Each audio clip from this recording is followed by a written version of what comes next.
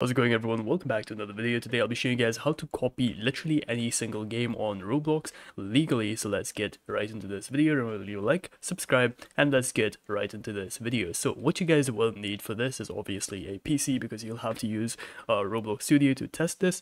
And I would recommend making an alt account because using your main account might be a bad idea because these games could be filled with viruses. As you know, downloading games from literally anyone is not a good idea. It might get your Roblox account banned. Anyways, let's start.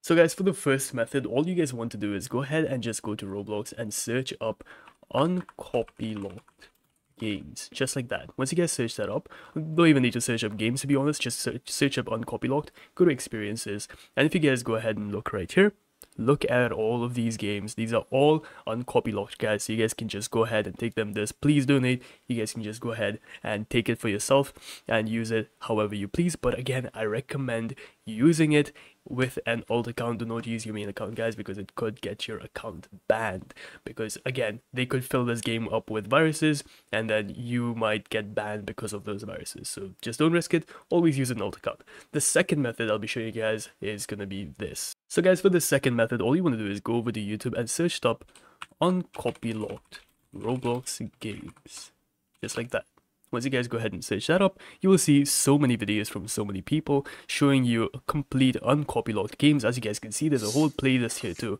so you guys can go ahead and use it however you please. Hope that helps guys. I'll see you all in the next video. Peace.